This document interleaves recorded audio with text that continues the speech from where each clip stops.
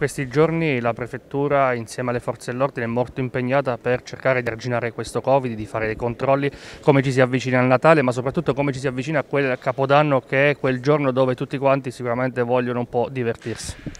Abbiamo sempre fatto controlli, come sapete, nei mesi scorsi, abbiamo di recente fatto un piano, stiamo rafforzando ulteriormente i controlli, ci adegueremo alle nuove disposizioni normative adottate ieri sera, però voglio anche sottolineare il grande senso di responsabilità dei cittadini e degli esercenti, dei commercianti sui quali contiamo.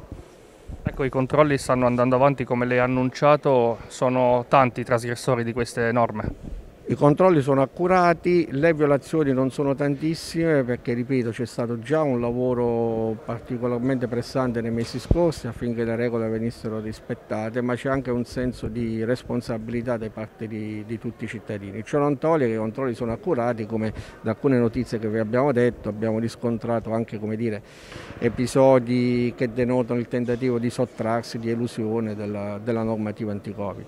Sicuramente questa è l'occasione anche per mandare gli auguri a tutti i cittadini della provincia. Gli auguri a tutti i cittadini a tutti i pescaresi eh, di cuore.